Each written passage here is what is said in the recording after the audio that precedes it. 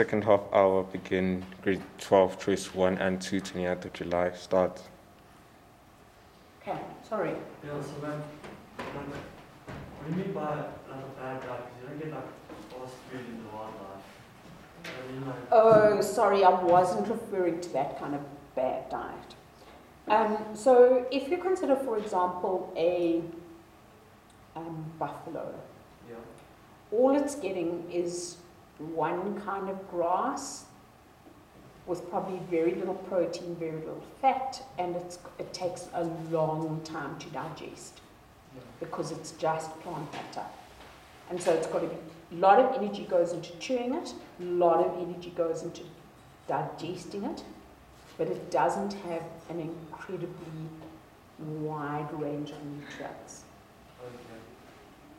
Whereas if you consider humans were able to gather fruit, they were able to kill animals and eat meat, plus they were able to grind seeds and stuff like that. So they had a bigger range of nutrients and a better diet. Just the variety of Yes. Because the, the greater the variety, the greater. Remember, um, proteins are made of those 20, 20 different amino acids Yeah. in long chains of 20 different amino acids. And there are a number of those that are not found in all plant matter, whereas they are found in a range of different diets. Does that make sense?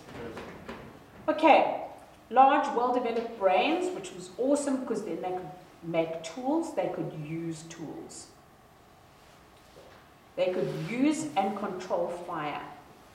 And that added a whole new aspect to human life because they could cook and therefore food was easier to digest, but they could also use it as protection and they could also use it to maintain body temperature. Okay, sorry, I'm jumping backwards and forwards and things. So the cranium, remember, is an indication of brain size. So if you look at Australopithecus, we'll talk about that, quite a small cranium. It's about um, between 400 and 500 C, uh, cubic centimeters or milliliters. This is Homo erectus and this is Homo sapiens. And this is about 1,300 cubic centimeters. Okay. I wanted to say something and I've lost it.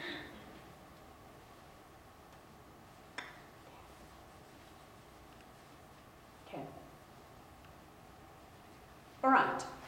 So early hominids, and that would have been the Australopithecus time, did not initially show an increased brain size. They were quite small brain, about 400 to 500 cubic centimeters compared with 1,300 cubic centimeters for modern humans.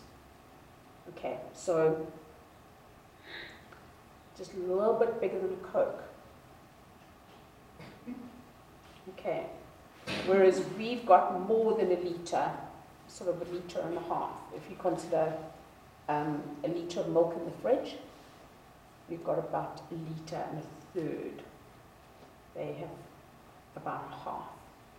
They were also physically smaller, about only about four, 40 kilograms as adults. Okay. Hmm? What's wrong? No, like that amazes me, man. It's like, Okay, a reminder about the definition of hominids. So, hominid, remember the modern definition? The group consisting of all modern and extinct great apes. So, that's modern humans.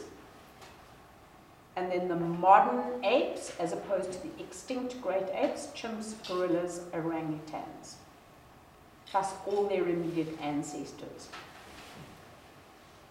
And then bipedal animals in the fossil record show a mixture of ape-like and human-like features. Now guys, you would never ever have to learn something like this. You have to be able to interpret it. So here um, is the timeline from long ago to naught MYA And it's just going through the various examples. You don't have to know these two that are in green. So Ardipithecus, and there's an Ardipithecus as well. You would have to know from Australopithecus onwards. And basically, you just have to know some examples. So we're going to talk about Australopithecus afarensis. So look how long ago it existed, um, about 300, 375 million years ago, 360 million years ago. Whatever you do, if you ask this figure, don't go. It's a little bit more than four, so it's about 4,200. Um, four, you know, the arithmetic thing that I don't do, four, two million years ago. No, it's between three and four, so it's a little bit more than three. Okay. Homo habilis, Homo ergaster, Homo erectus. We're not going to talk about Homo heidelbergensis. I'll mention it briefly in passing. You don't have to know it according to the SAGs. Homo neanderthalensis, and then Homo sapiens. Okay. And remember, you have to know what this line means. So this line means that's when it evolved, and that line means that's the time that it became extinct. And because those lines don't carry on up to the top there, like um, Neanderthals there, ended there, then you know that it means that they're extinct. Whereas Homo sapiens is extinct. Okay?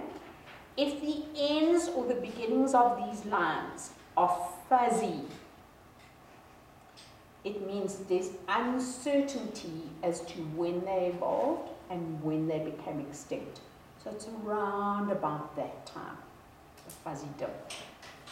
Okay, exactly the same type of picture, except it goes in this direction. And this is 7 million years ago, and that's today. Okay? And this is just talking about a few different examples. Divided up into green being humans, pre-human primates, and important developments. So there it will give examples of important developments that happened. And it shows when an organism evolved and when an organism became extinct. Okay, same thing here. Okay, this one more than this one shows relationships. So what it's showing is it sort of, if you drew branches between these organisms, it's showing you which organisms gave rise to which. So Australopithecus boisei evolved from Australopithecus africanus, which evolved from Australopithecus afarensis, according to this individual's interpretation.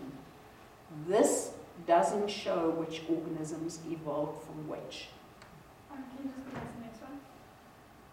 So if Australopithecus boisei evolved from Africanus, how come there's a time when neither of them? So that's a fuzzy area. That's, a, that's an area where there's no fossil evidence that this one still existed in that way. So that what they're going on is they're going on the similarities between the fossils of these and the fossils of those, that it looks as if this one evolved from that, and they would probably live in the same area. Okay, all right. This one shows relationships. Okay, so again, all you must be able to do is interpret it. So if I say to you, um, which organisms evolved first out of these primates. It could be this one with the unpronounceable name and that one, you know, blah blah. That one. A little bit later on, that one, etc., etc. And then you could say, I could say to you, what is the most closely related to Homo sapiens, Homo heidelbergensis, and which organism evolved from Homo heidelbergensis. If you look at this little branch going off there, Homo neanderthalensis. Okay. Right, you're happy? You're able to interpret these. They're very fond of these. Very fond.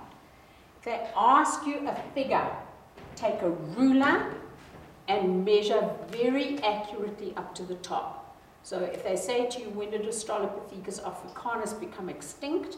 You would take a ruler, go straight up, and say at about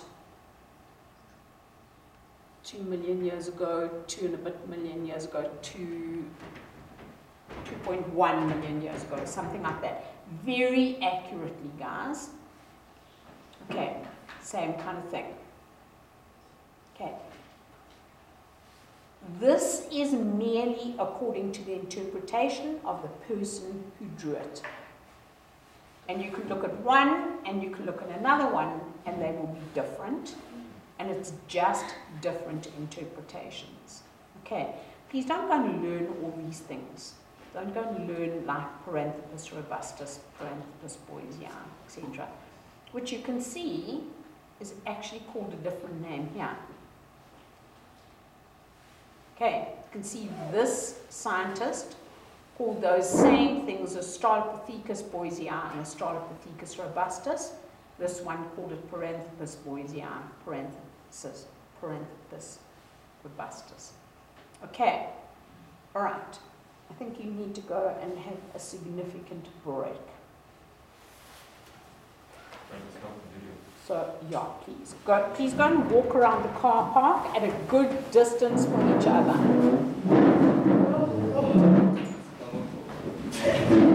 You guys can go and get a coffee. End of second half hour, grade 12, phase 1 and 2, 29th of July.